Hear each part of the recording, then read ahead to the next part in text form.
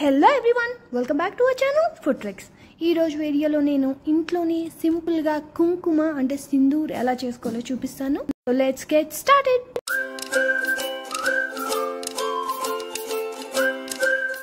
ఈ కుంకుమ తయారు చేసుకోవడానికి మనకి జస్ట్ త్రీ ఇంగ్రీడియంట్స్ చాలండి. అందులో ఫస్ట్ ఇది పసుపు.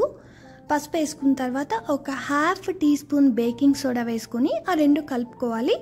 ఇప్పుడు ఒక సగం లెమన్ జ్యూస్ని మనం స్క్వీజ్ చేసుకోవాలి. ఆ మూడింటిని బాగా మిక్స్ చేసుకోవాలి. అంటే అట్లీస్ట్ ఒక టెన్ మినిట్స్ అయినా మనం దాన్ని గట్టిగా కలుపుకోవాలి. సో ఒక టెన్ మినిట్స్ తర్వాత నేను కొంచెం వాటర్ వేసుకొని మళ్ళీ కలుపుకుంటున్నాను అది.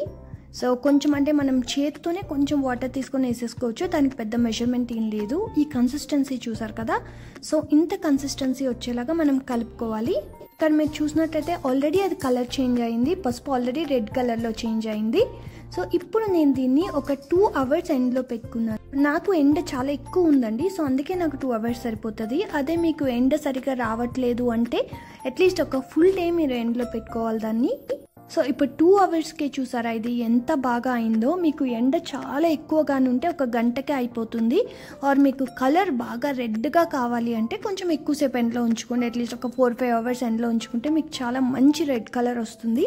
అండ్ ఇది మనం రెగ్యులర్గా యూజ్ చేసే కుంకుమలానే ఉందండి. కలర్ కానీ టెక్స్చర్ కానీ కన్సిస్టెన్సీ కానీ అంతా అలానే ఉంది. ఇక్కడ మనకి మధ్య మధ్యలో రౌండ్ బాల్స్ లాగా ఉండిపోయాయి కదా. సో దాన్ని మనం ఫింగర్స్తో కానీ గట్టిగా ప్రెస్ చేస్తే ఇలా మొత్తం ఒకే కన్సిస్టెన్సీలో పౌడరీగా అయిపోతుంది. చూసారా ఎంత బాగా అయిందో? సో అంతే మనకి కుంకుమ రెడీ అయిపోయింది. దాన్ని మీరు మీ బరెనలో తీసుకొని సేవ్ చేసేసుకోండి.